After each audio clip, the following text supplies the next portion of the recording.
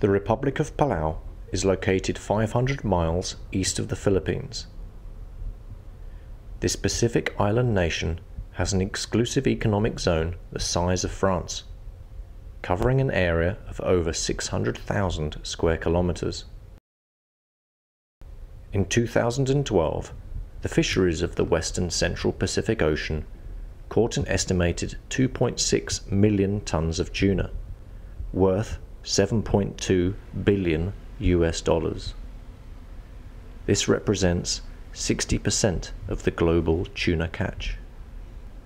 Palau currently sells licenses to longline fishing fleets from Japan and Taiwan. This makes it about $5 million a year.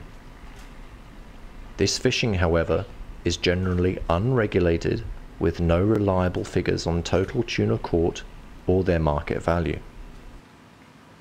Shark fishing in Palau is of a major concern. Numerous illegal vessels have been apprehended by the patrol vessel donated by the Royal Australian Navy. In 2013, Palau's president, Tommy Remengesau Jr., declared his intentions to close Palau's territorial waters to foreign commercial fishing and asked for access to technology to monitor illegal vessels. As a member of the Fisheries Forum Agency, Palau has access to the Vessel Monitoring System, or VMS, which tracks all shipping activity within its exclusive economic zone. Uh, as you are aware, we've only got the one boat. Uh, we have got uh, two boats provided by the Nippon Foundation, but they're very limited in, in what they can cover. Uh, and we're looking for those smaller boats to cover the Rock Island areas and areas from the baseline, which is the coastline of Palau, out to around about 12 nautical miles. Remeliik will uh, cover or continue to cover areas 12 nautical miles out to 200 nautical miles.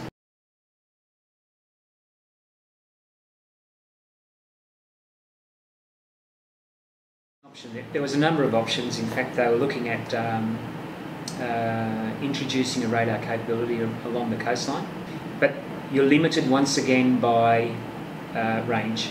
Uh, radar installation is good, but uh, it can only project out to around about 15 nautical miles maximum. Uh, we also looked at a, a, a um, an asset called uh, Aerostat, which is a, a, balloon with a radar fitted underneath and these were used by the Americans over in uh, Afghanistan, places like that, uh, where they where they tether a balloon off a uh, control point, um, and they put this this balloon up some few thousand feet. I think that's variable, and this radar can give a 360 um, degree look. And of course, the higher it goes, the better the coverage.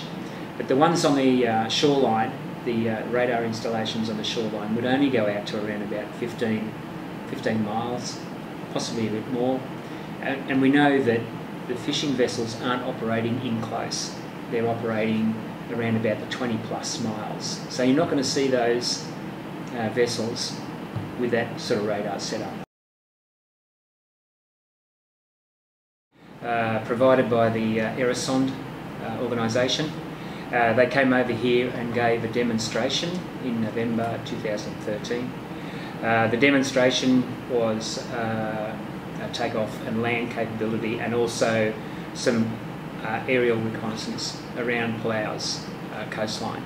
I think the overall cost of, of the UAV was was fairly significant. Uh, figure of around three million dollars was was mentioned. Now I don't know whether that's just for the one or for the two there's also ongoing uh, issues with support for the UAV project uh, with um, maintainers and also operators. When we talked to the Aerosonde organisation, we were looking at um, ship launch and recovery, which would be which would be good, uh, but you still need a console operator, an operator at sea, to to control that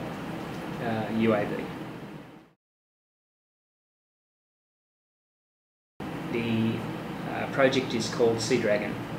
Uh, this goes one step up from UAVs where they would provide a, uh, a Cessna aircraft and a pod uh, would be pretty much fixed to this Cessna aircraft. And they'd also have an observer as well as the pilot. Um, so you're basically going to have an aircraft with a capability to uh, video and take still fo uh, footage of a, uh, uh a suspect fishing vessel. Uh, and of course, with a, an observer in the back, the, the uh, overall coverage of uh, is extended, where the UAV is only looking through a small lens camera. And someone came up with the uh, idea that that was like looking through a straw. Whereas this, you're going to have uh, coverage out to 15, 18, all round view. Uh, if you spot anything, you can get down in close, turn on the camera gear, record it. Um, it's daytime stamped, so that alone is, is probably good enough for conviction if you can get good video footage of, an, of a, a fishing vessel operating illegally with shark um, seen on board. Um, you can also get the uh, license number of the vessel, compare it to a license list, and if that uh, vessel is not on the list, then it's a suspect vessel and should be uh, investigated further. So that's that is a very uh, uh, positive um, surveillance asset, I think, in comparison to the UAV. Definitely. Uh, Waveglider is a system which uses the action of the waves to power it. And we can send out a number of these uh, uh, Waveglider assets. They pretty much uh, operate on, on the surface of the water. They go out, uh, they listen, uh, and using cross-referencing from a number of these Waveglider assets, they can determine a vessel's position and uh, how it's actually operating.